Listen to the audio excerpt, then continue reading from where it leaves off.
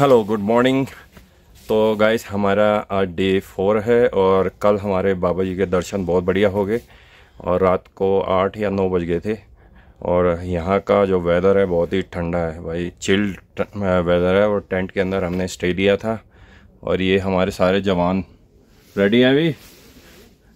सब रेडी है। अब नीचे अब उतराई करेंगे और हम लगभग कितने बजे छः घंटे लग जाएँगे? छः घंटे में अपने स्थान पे पहुँच जाएँगे जहाँ हमारा होटल है। वहाँ पे हमारा सामान रखा हुआ है हमारी बाइक्स रखी हुई हैं। और आज वहाँ पहुँचते हैं और फिर अपना पैक करके फिर चौपटा की तरफ़ हम रवानगी करेंगे। और फिर वहाँ का आज का स्टे हमारा चौपटा का है। तो बने रहना हमारे साथ।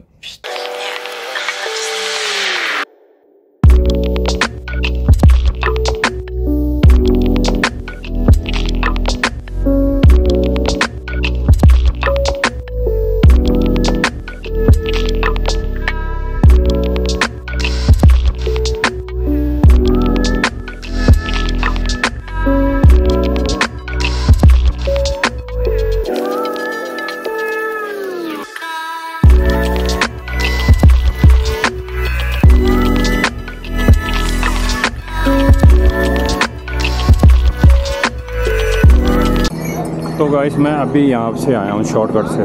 बहुत ही डेंजरस है ये वाला। और हमारे साथी पता नहीं आगे पीछे हो गए अब मैं उनका वेट कर रहा हूँ और अभी देखता हूँ कहीं अच्छी जगह बैठता हूँ, रुकता हूँ। सब आ जाएँगे, फिर चलेंगे मिलके। और ये रास्ता है अभी। बिल्कुल डाउन पे जाना है। आज तो काफ़ी इजी है। कल तो बहुत हालत ख़राब हो गई थी। चढ़ते चढ़ते। छोटी ली चौली।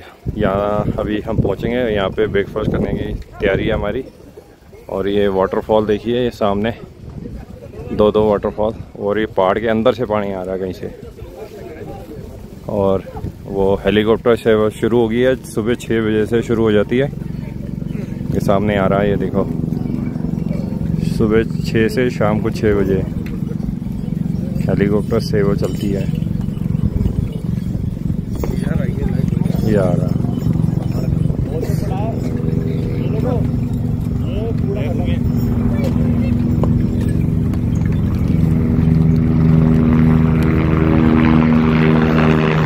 भी एक हमने लिया है टी ब्रेक, और ये हेलीपैड है। छोटी लीचोली में हम पहुँच गए हैं मतलब साढ़े चार किलोमीटर से ऊपर हमने डिस्टेंस कवर कर लिया है, साढ़े पाँच चले थे।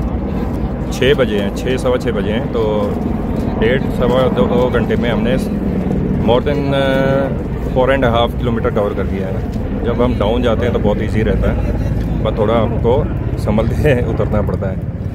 तो ये है पीछे देखिए ये हेलीपैड है। एमरजेंसी में अगर लैंड करना हो तो यहाँ पे भी लैंड कर सकते हैं। रेस्क्यू ऑपरेशन हो कुछ हो ये हमारे सारे भाई लोग। ये सामने ये सुरेंद्र भाई चाय का मज़ा लेते हुए। एज यूजुअल तो गाय हल्की हल्की बूंदाबांदी शुरू होने लगी है। ट्रैक है। और वो जो ब्रिज देख रहे हैं उस ब्रिज के क्रॉस होके पल्ली तरफ़ जाना है हमने। और वहाँ पे थोड़ी फोटोग्राफी वहाँ पे थोड़ी फोटोग्राफी भी करेंगे। और हम ग्यारह हज़ार सात सौ पचहत्तर foot eleven thousand seven hundred fifty foot से नीचे आएँगे 6500 फीट पे। और यही हमने रिवर्स किया था जाते समय, गौरीकुंड तक। अब देखते हैं रेनकोट पहनेंगे, अगर ज़्यादा बारिश हुई तो। More than half distance cover कर लिया है। और ऐसे ऐसे वाटर स्ट्रीम्स बहुत सारे मिलेंगे रास्ते में। अगर आप वाटर बॉटल लाते हैं साथ में तो यहाँ से पानी भर सकते हैं आराम से। बहुत ही बढ़िया चिल्ड वाटर मिलेगा आपको। बहुत ही प्यारा वाटरफॉल है।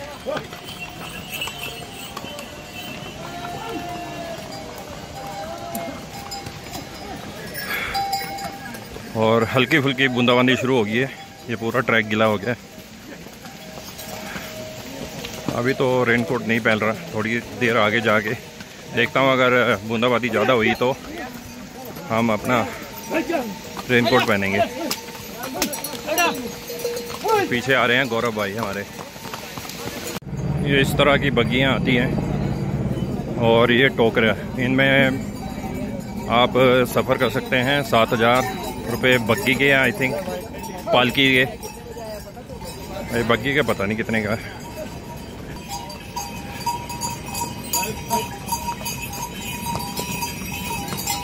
हम पहुँच गए हैं मंदाकिनी रिवर के बिल्कुल ऊपर। ये ब्रिज के ऊपर खड़े हैं और ये झूल रहा है, झूलने वाला सस्पेंशन ब्रिज है। ये और ये मैं दूसरी साइड का भी दिखा देता हूँ।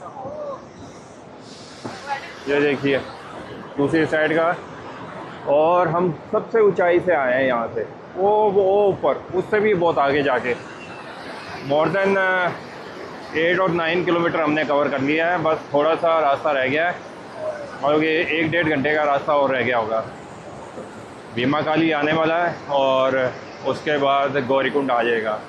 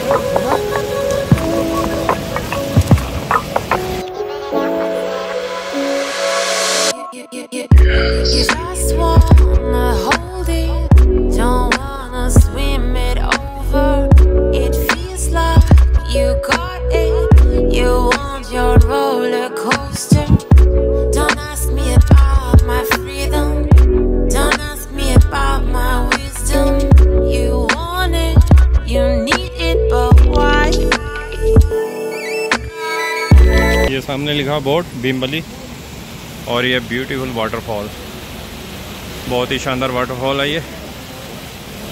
मैं पहले भी दिखाया था आपको। ब्यूटीफुल ब्यूटीफुल ट्रैक ये सामने देख रहे हैं, ये न्यू ट्रैक बना हुआ है। ये हम जिस पर चल रहे हैं, ये ओल्ड ट्रैक है।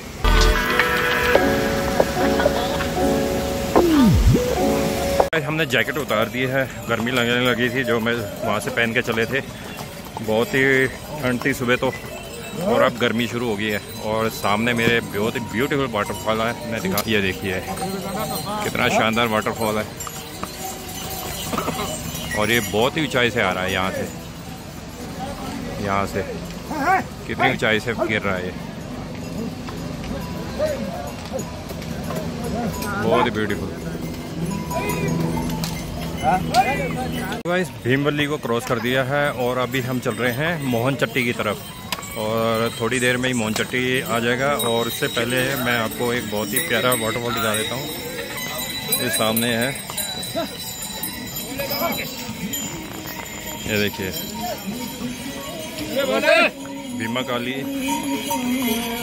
ये बहुत ही ब्यूटीफुल वाटरफॉल है। क्या नाम है इसका नाम क्या बताया? एलिफेंटा। तो ये है एलिफेंटा वा वाटरफॉल और ये हमारा ट्रैक अब बहुत ही कीचड़ कीचड़ हो गया नीचे। ये देखिए। बहुत गंदा ट्रैक हो गया ये।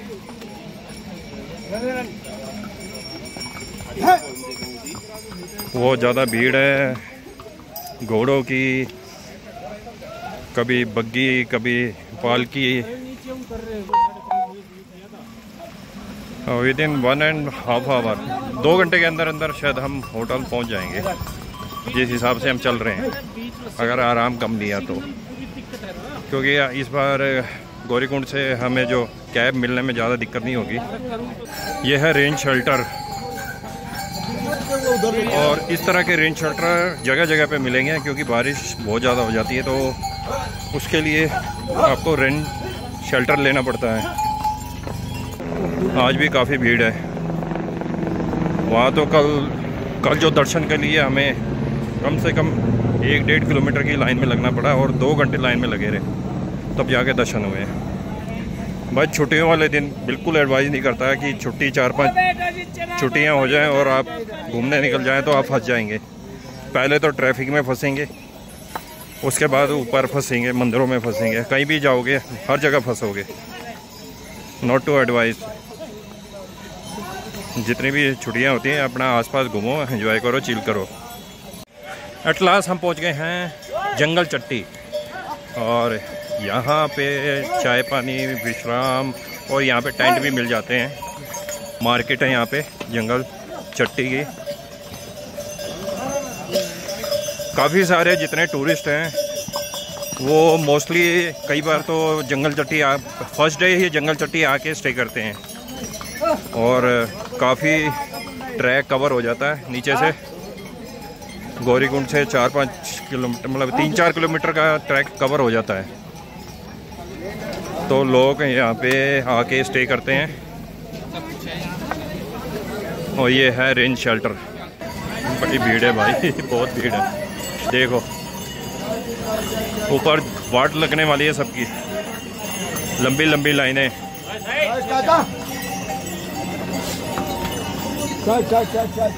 लेकिन एक और ब्यूटीफुल वाटरफॉल नज़र आया मेरे को। ये देखिए। ब्यूटीफुल वाटरफॉल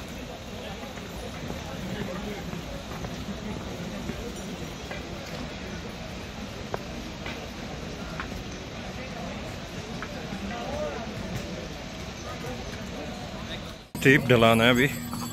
और गौरीकुंड यहाँ से तीन किलोमीटर रह गया है। और दस बज के चालीस मिनट हो गए हैं, सुबह साढ़े पाँच चले थे। कंटिन्यू चल रहे हैं नॉन स्टॉप एक दो ब्रेक लिए हैं ज़्यादा से ज़्यादा। उतरने में ज़्यादा दिक्कत नहीं है, लेकिन भीड़ बहुत है इस रूट पे। दो दिन से कंटिन्यू तगड़ी भीड़ चल रही है और ये लोग पीछे बोल रहे हैं, दुकानदार कि चार पाँच दिन हो गए कंटिन्यू भीड़ आते हुए। साइड साइड साइड साइड बस एक ही राग है सबका side side side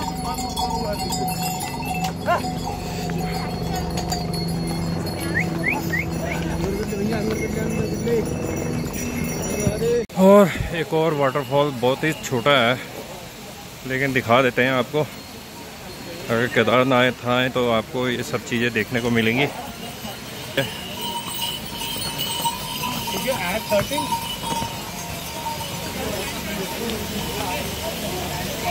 beautiful waterfall बस चलते रहो धीरे धीरे चलते रहो चलते रहो चलते रहो।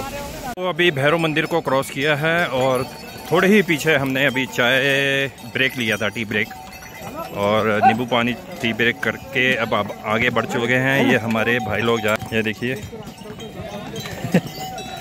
ये सब जा रहे हैं आगे।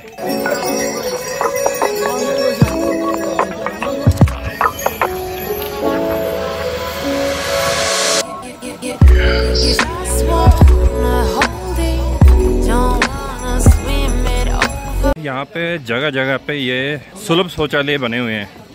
तो इस चीज़ की आपको इस चीज़ की आपको कोई दिक्कत नहीं होगी। आपको टॉयलेट जाना है, कुछ जाना है तो जगह जगह पे आपको सुलभ शौचालय मिल जाएँगे। और साथ में पानी के लिए आपको नेचुरल वाटर जो स्टीम्स मिल जाएँगी आपको। ये सब फैसिलिटीज़ होगी हैं। लेकिन घोड़ों से बच के रहना आप। बाप रे। देखिए, बीच बीच रास्ते में घोड़े लेके चल रहे हैं। लगभग हम गौरीकुंड पहुँच चुके हैं और ये पीछे का दिखकनी रिवर का व्यू, बहुत ही शानदार व्यू है। ये हमारा ट्रैक है और ये शेल्टर रेंज शेल्टर घोड़ा पॉइंट यहाँ से आपको घोड़े मिलेंगे। कल रात को मैंने आपको घोड़ा पॉइंट दिखाया था अपना केदारनाथ मंदिर पे और ये है यहाँ पे गौरीकुंड के पास घोड़ा पॉइंट और गौरीकुंड यहाँ से लगभग सिर्फ़ एक किलोमीटर रह गया है मात्र। और अब जैसे जैसे मंजिल करीब आ रही है, वैसे वैसे थकावन बढ़ती जा रही है, क्योंकि हम कंटिन्यू चले जा रहे हैं। और जो टाइम हुआ है इस समय ग्यारह बज के पैंतालीस मिनट, पौने ग्यारह, पौने बारह बजे हैं। तो काफ़ी जल्दी हमने डिस्टेंस कवर कर लिया है। ज़्यादा से ज़्यादा गोरीकुंड तक हमें पंद्रह मिनट बीस मिनट लगने वाले हैं। और गोरीकुंड से फिर हम करेंगे कैब। और भीड़ देखो भीड़ देखो भाई। क्या भीड़ जा रही है। ऊपर जाके तो बुरी हालत होने वाली है। लंबी लंबी लाइनें लगेंगी। बहुत बुरा हाल है यार। पूरा जाम है। घोड़ों ने ऐसी तैसी कर रखी है। पता नहीं कैसे लोग जा रहे हैं। बहुत बेकार व्यवस्था है। कहीं पुलिस का हाँ। तो दानुओं की ज़िंदगी के साथ खिलवाड़ ही दिख रहे हैं यहाँ पे। और बताइए कहाँ से आए आप? कानपुर से कानपुर। कानपुर से। दर्शन हो गए सही? दर्शन तो सही होगा मेरा एक्सपीरियंस बहुत बैड था सर। बहुत बैड एक्सपीरियंस है क्योंकि आप भीड़ बहुत है ना दो तीन दिन से। भीड़ भी है मगर कुछ पुलिस प्रशासन का भी कर्तव्य बनता है ना अपना। हाँ। किस तरीके से उन चीज़ों को डील किया जाए। नाम क्या है आपका? विशाल विशाल वर्मा। तो विशाल भाई मिले हैं हमें कल कानपुर से। तो मेरा चैनल है जाटवन व्हील्स के नाम से। यूट्यूब चैनल है, ठीक है? तो गए बहुत ही लंबा जाम लगा हुआ है और पुलिस प्रशासन की कोई व्यवस्था नहीं है। बहुत बुरा हाल है यहाँ पे। घोड़े वाले, घोड़े वालों ने ऐसी तैसी कर रखी है पूरे रूट की। लोग ही लोग नज़र आ रहे हैं और घोड़े वाले बस। ये देखिए।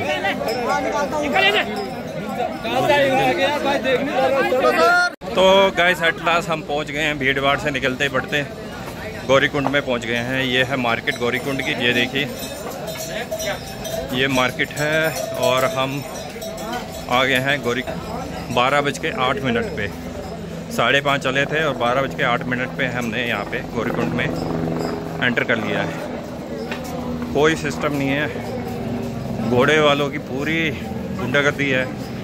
ना अपने रो में चलते हैं, बीच में चलेंगे, उड़ा देंगे आगे जितने भी यात्री हैं उन सबको उड़ाते हुए जाते हैं।